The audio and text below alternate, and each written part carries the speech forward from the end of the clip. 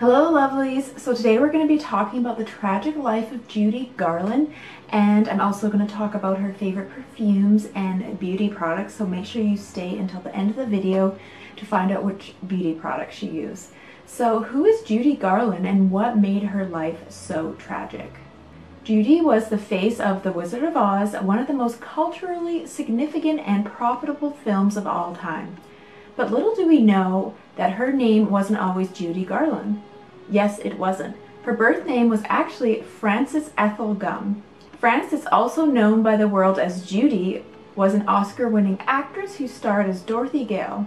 Everywhere Judy went, it was lights, camera, fame, and action. Judy Garland was impoverished, virtually homeless, and owed thousands in unpaid taxes to the IRS when she was in her 40s and this was during the late 1960s. She was able to support herself by singing in bars for $100 a night. She was very unhappy and depressed during this time. And so what happened? How did she become this way? What caused one of Hollywood's brightest lights to fade so quickly? Here's the tragic story of Judy Garland. So Judy was raised by her demanding theatrical stage mom who only cared about her career.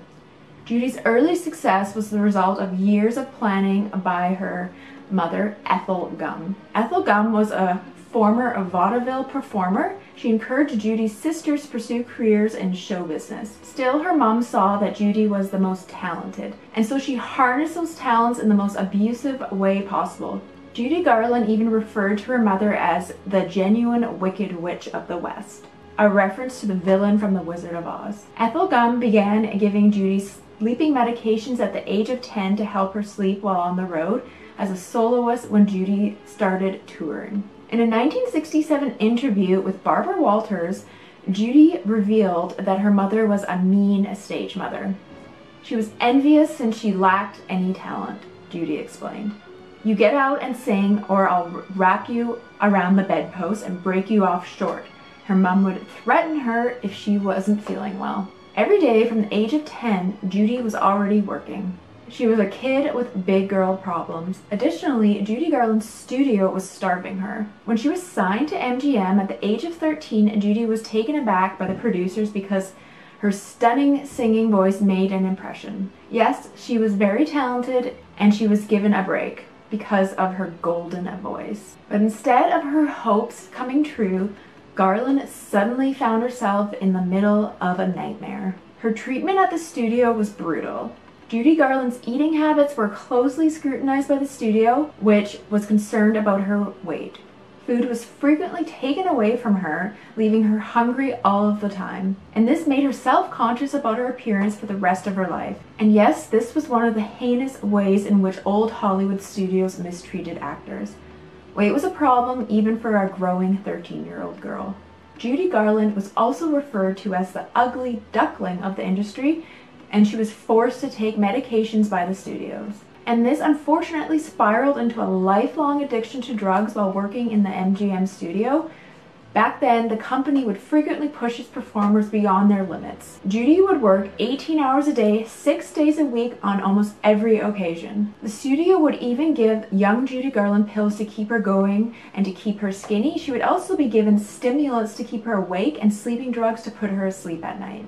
And unfortunately, because she was drugged at such a young age, I think it gave her really bad habits, so this addiction just went on throughout her life. In later years, Judy was also sexually harassed on multiple occasions by studio leads of MGM. Louis B. Mayer actually complimented her voice by resting his hand on her chest, and Judy claimed that she was abused by at least one other studio boss whom she did not identify. When Judy turned down his advances, she claims he started yelling, threatening her to ruin her career and saying, I'll shatter you if this is the last thing I do. It was like a predator chasing a mouse. And that's how life was in her teenage years for her and many other young Hollywood actresses. And it does not stop there. Judy Garland unfortunately had a lousy love life and personal life. She was married five times because she was in such bad situations and just longing for love. She married composer David Ross in 1941 when she was just 19 years old. Judy had also fallen pregnant but had to get an abortion,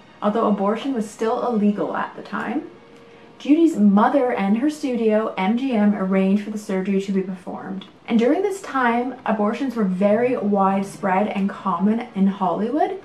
And the studios didn't want to tarnish their performers' reputations as sex symbols, and in her case, as a child star. Many of Judy Garland's colleagues had abortions to save their acting career as well. This includes Bette Davis and Ava Gardner, to name a few. Either way, Judy Garland and her husband married on the spur of the moment in Las Vegas, but their union was very short. In 1944, they divorced. Again, she married her second husband, filmmaker Vincent Minnelli. And this was the following year. Liza, their daughter, was born and she thought they would be happy. However, their marriage again was very short-lived. In 1951, Minnelli and Judy divorced. And next, Judy remarried again a businessman named Sid Luft a year later. They had two children, Joey and Lorna. But her challenges did not stop there. Judy's tragic background, along with her drug addiction, caused her adult life to be filled with turbulence. Her negative self-image wasn't only the thing that kept her on the pills, it was also the excuse to keep taking them. So because she was forced all these pills at such a young age, I think it really messes up with your brain chemistry too. Takes down all the serotonin, so it's just so sad that this happened to her, and I'll just never be able to look at the Wizard of Oz the same. She also suffered from postpartum depression, which I think could be a combination of the prescribed drugs too. And she has been prescribed more medication and the medications she was previously taken. She had attempted to take her life twice after being sacked from MGM in 1950. Her despair contributed to the tension that led to her divorce from her second husband and over to her third. Sid Luft claimed that Judy attempted to take her life 20 times during their 13-year marriage. And in 1965, they finally divorced. Judy claimed that her fourth husband, actor Mark Herron, had hit her. The two had only been married a few months before they divorced. But Mark Herron was also attracted to men and eventually had a long-term relationship with another actor. And last but not least is Mickey Deans, her fifth husband. But Judy Garland's status and fortune were deteriorating by this time as she neared the conclusion of her career. On June 22, 1969, Judy Garland passed away in her London home. She had accidentally overdosed and was only 46 years old. If you think she had taken away her own life because she was depressed during the last few months, Judy actually appeared to be in a good mood the night before she was discovered dead. Mickey Deans, her fifth husband, loved her so dearly. She said, Finally, I am loved. And it seems like Judy finally got everything she wanted and she was loved and had a loving relationship.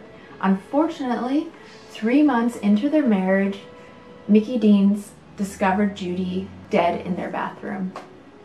Her outstanding talents and weakness made her one of the most enduringly adored Hollywood icons of the 20th century, with 22,000 people attending her funeral in New York City. As for her fifth husband, surprisingly, Mickey Deans never remarried. And this is such a sad story because if Judy had not passed away, they could have still been together. And it turns out her fifth marriage could have been her happily ever after. So this is not to take away from how talented Judy Garland is and how incredible her voice is and she's one of my favorite old Hollywood actresses and I just love her films and I grew up watching The Wizard of Oz. I remember it was one of my favorite movies when I was a kid. So now that we've discussed her life, I want to touch on some of her favorite perfumes and beauty products. So when it comes to perfume, Judy Garland wore the fragrances Carven Ma Griffe and Carnation perfume. You can still buy Ma Griffe, but Carnation unfortunately is not available anymore. Carven was created in 1946 and this is a very fresh, dashing, and flowery fragrance. It's very classy and sophisticated and the bottle is that classic green and white striped. And I also noticed that Judy was featured in several Lux toilet soap advertisements as well as several Max Factor makeup advertisements. So I feel like there's a good chance that she most likely used these products as well. Max Factor was very common during this time period in Hollywood and so many old Hollywood movie stars were featured in Lux soap ads and Lux soap was founded by the Lever brothers and this was in 1899 And Lux Toilet Soap launched in the United States in 1925 and the United Kingdom in 1928. And Max Factor was one of the first beauty brands created for old Hollywood actresses and for the stage. So there's a good chance Judy Garland used the Max Factor Cream Puff, the Pan-Stik Foundation, and lipstick. So thank you so much for watching. I hope you enjoyed this video. and Let me know if there's any other actresses you want me to do next. And also please don't forget to subscribe and hit the big red button below. And check out my YouTube channel membership. And with this membership you get one monthly live stream as well as one monthly bonus behind the scenes video and 20% off vintage doll cosmetics and a free vintage mirror with your first purchase. So I hope to see you there. Alright, I'll see you guys again soon. Bye!